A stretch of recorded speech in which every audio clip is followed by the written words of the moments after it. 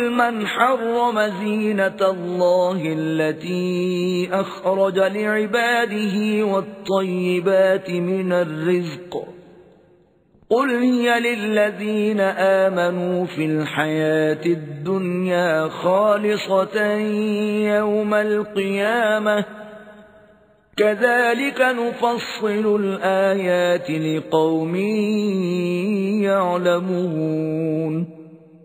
تو کہ جو زینت و آرائش اور کھانے پینے کی پاکیزہ چیزیں اللہ نے اپنے بندوں کے لیے پیدا کی ہیں، ان کو حرام کس نے کیا ہے؟ کہہ دو کہ یہ چیزیں دنیا کی زندگی میں ایمان والوں کے لیے ہیں اور قیامت کے دن خاص انہی کا حصہ ہوں گی۔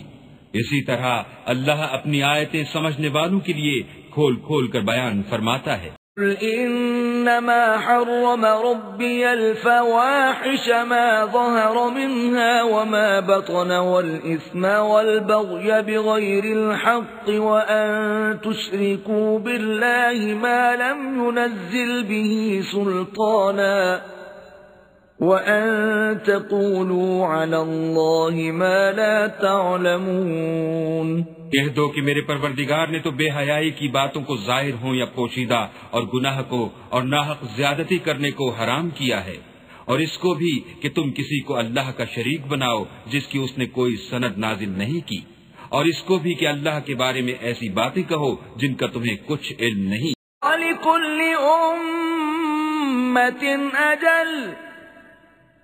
فَإِذَا جَاءَ أَجَلُهُمْ لَا يَسْتَأْخِرُونَ سَاعَةً وَلَا يَسْتَقْدِمُونَ اور ہر ایک فرقے کے لیے موت کا ایک وقت مقرر ہے۔ جب وہ آ جاتا ہے تو نہ تو ایک گھڑی دیر کر سکتے ہیں نہ جلدی۔ يا بني آدم إما يأتينكم رسل منكم يقصون عليكم آياتي فمن اتقى فمن اتقى وأصلح فلا خوف عليهم ولا هم يحزنون اے بنی آدم ہم تم کو یہ نصیحت ہمیشہ کرتے رہے ہیں کہ جب ہمارے پیغمبر تمہارے پاس آیا کریں اور ہماری آیتیں تم کو سنایا کریں، تو ان پر ایمان لایا کرو کہ جو شخص ان پر ایمان لا کر اللہ سے ڈرتا رہے گا اور اپنی حالت درست رکھے گا، تو ایسے لوگوں کو نہ کچھ خوف ہوگا اور نہ وہ غمناک ہوں گے۔ الذين كذبوا بآياتنا واستكبروا عنها أولئك أصحاب النار. هم فيها خالدون.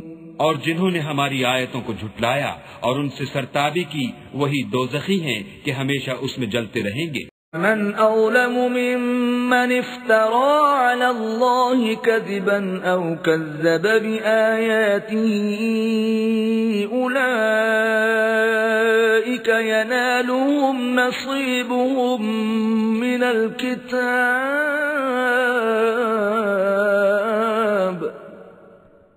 حتى إذا جاءتهم رسلنا يتوفونهم قالوا أينما كنتم تدعون من دون الله؟ قالوا ضلوا عنا وشهدوا على أنفسهم أنهم كانوا كافرين. تو اس سے زیادہ ظالم کون ہے جو اللہ پر جھوٹ باندھے یا اس کی آیتوں کو جھٹلائے؟ ان کو ان کے نصیب کا لکھا ملتا ہی رہے گا۔ یہاں تک کہ جب ان کے پاس ہمارے بھیجے ہوئے فرشتے جان نکالنے آئیں گے، تو کہیں گے کہ جن کو تم اللہ کے سوا پکارا کرتے تھے، وہ اب کہاں ہیں؟ وہ کہیں گے معلوم نہیں کہ وہ ہم سے کہاں غائب ہو گئے اور اقرار کریں گے کہ بے شک وہ کافر تھے۔ قال ادخلوا في أمم قد خلت من قبلكم من الجن والإنس في النار۔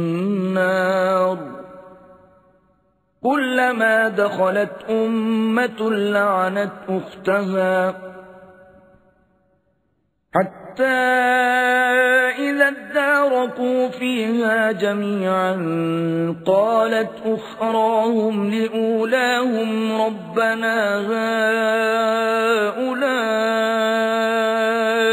أضلونا فآتهم عذابا ضعفا من النار. قال لكل ضعف ولكن لا تعلمون. تو اللہ فرمائے گا کہ جنوں اور انسانوں کی جو جماعتیں تم سے پہلے ہو گزری ہیں، انہی کے ساتھ تم بھی داخل جہنم ہو جاؤ۔ جب ایک جماعت وہاں جا داخل ہوگی، تو اپنی مذہبی بہن یعنی اپنی جیسی دوسری جماعت پر لانت کرے گی۔ یہاں تک کہ جب سب اس میں داخل ہو جائیں گے، تو پچھلی جماعت پہلی کی نسبت کہے گی کہ اے پروردگار انہی لوگوں نے ہم کو گمراہ کیا تھا تو ان کو آتش جہنم کا دگنا عذاب دے۔ اللہ فرمائے گا کہ تم سب کو دگنا عذاب دیا جائے گا مگر تم نہیں جانتے۔ قالت أولاهم لأخراهم فما كان لكم علينا من فضل فذوقوا العذاب بما كنتم تكسبون۔ اور پہلی جماعت پچھلی سے کہے گی کہ تم کو ہم پر کچھ بھی فضیلت نہ ہوئی، تو جو عمل تم کیا کرتے تھے، اس کے بدلے میں عذاب کے مزے چکھو۔